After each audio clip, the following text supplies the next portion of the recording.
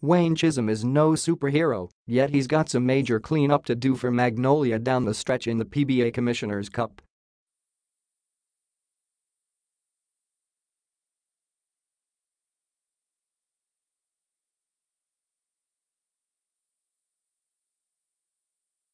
Wins over NLEX and San Miguel can get the hotshots through to the playoffs, and after just one practice with Magnolia, Chism believes that his team will be up to the task.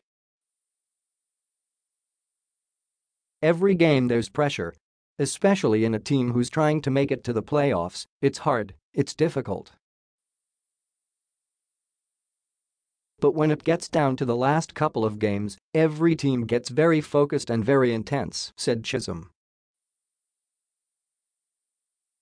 This team, they're ready to make the playoffs.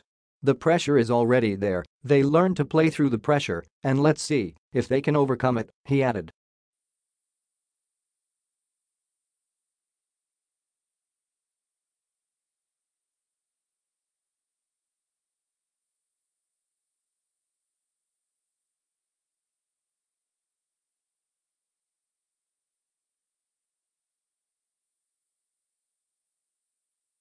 It feels good.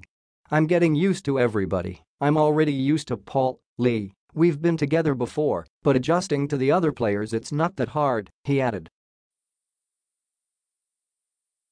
I played against some of them, it was fun. Now I am on the same team so let's see how it works.